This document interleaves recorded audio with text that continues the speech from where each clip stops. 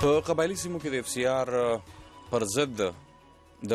ګلاب افضل چې د عوامي نېشنل پارټۍ یو غړی دی د هغه سره زمونږ همکار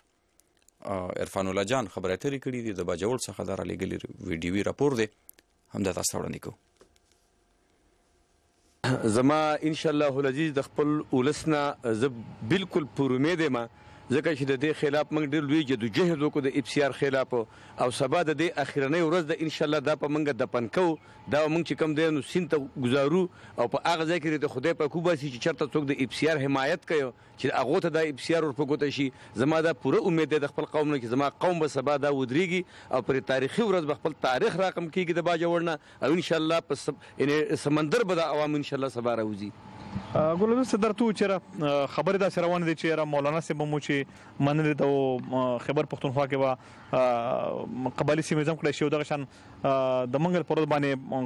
د اجلاس هم را بللی دی نواز شریف صاحب نو تاسو څه چېره دا اعلان به وکړي او که وبه نه کړي نو ترڅو پورې چې د کمیټې نو خبر ده کمیټې نه چې کم دی دا خو جوړیږي د کمیټې د اوسه پورې څه فیصله نه ده کړې دا زما د خپل ولس نه خواست دی چې خپل فیصلې حق دې موږ ته راکړی شي موږ دې راوځو او موږ دې دا ثابته کړو چې موږ دا اپسیار نور نه غواړو او قبایل په خیبر پښتونخوا کې ځم کیږي دا په کمیټو پسې تعلق نه دا تعلق په موږ پسې ساتي چې موږ سبا څونه خپل سټرینت کیو.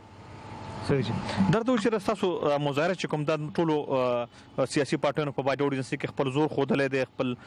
جلسې کړې دي ستاسو هم سبا چې کوم دی دا د طاقت مظاهره کوي کنه دا تاسو څه دریز خپل کړی دی په دې جلسه کې زه بالکل جی سبا زما طاقت مظاهره نه ده سبا زما مظاهره زما د هغه سوچ ده سبا زما مظاهره د هغه سپین ږیرو د هغه نوجوانانو د هغه ځوانانو د ترقۍ لپاره ده چې کوم چې کوم دی هغه د اف سي ار په یو زنجیر کې تړل شوي دي او هغه د غلامۍ ژوند تیری سبا مظاهره زما دا ده، هغه مظاهره به خپل سټرنګ هم زه بل وخت ښیم، خپل شو پاور اف شو هم زه بل وخت کوم، خو سبا زما د قبایلي ولس د دې غلامه نظام نه د خلاصۍ مظاهره ده انشاالله. ګلدوست صاحب ډیره زیاته مننه د وایس اف امریکا ډیوه رادیو او ټي وي سره خبرو کولو. ستاسو هم ډیره مننه یو جهان مننه. مهرباني قدرمندو اورېدونکو تاسو د ګلدوست صاحب خبرې واورېدلې سبا په باجوړ ایجنسي کې د دې د مظاهرې اعلان کړی دی چې د اف سي ار په ضد به دې ډېر لویه مظاهره کوي په ښارچوک کې